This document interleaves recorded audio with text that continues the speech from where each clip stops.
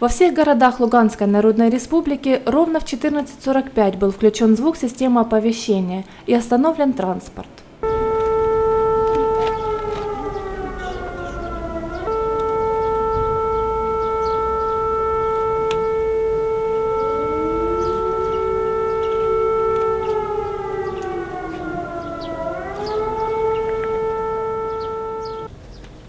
Такой страшный вой сирены. Это знак опасности, знак воздушной тревоги, знак обстрелов.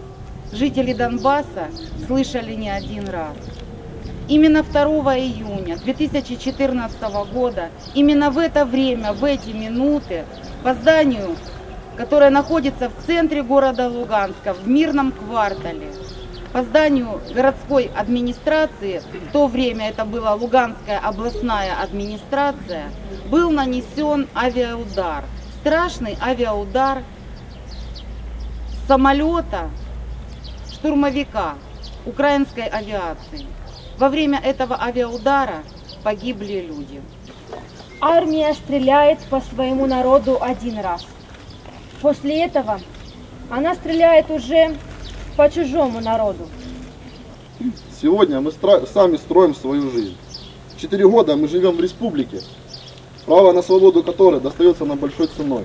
Собравшиеся активисты молодежного совета при главе администрации, члены общественного движения «Мир Луганщине», ветераны, медики, педагоги и руководство города почтили память ушедших луганчан минутой молчания и возложили цветы к импровизированному монументу. На митинге присутствовали неравнодушные краснолучане. У некоторых из них эта война также отняла родных людей. Мой муж погиб 18 августа 2014 года.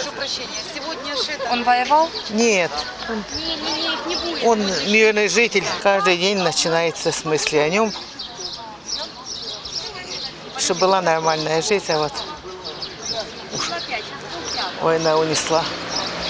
Теперь ежегодно 2 июня краснолучане скорбят вместе с Луганском.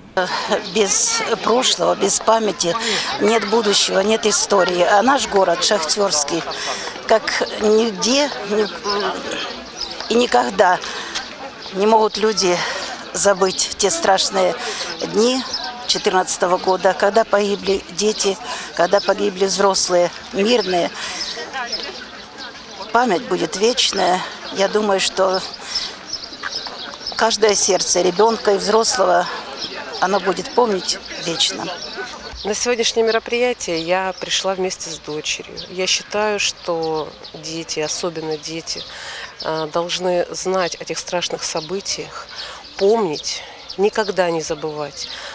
И я желаю родственникам погибших крепиться, продолжать жить, потому что вместе нам строить нашу молодую Луганскую Народную Республику.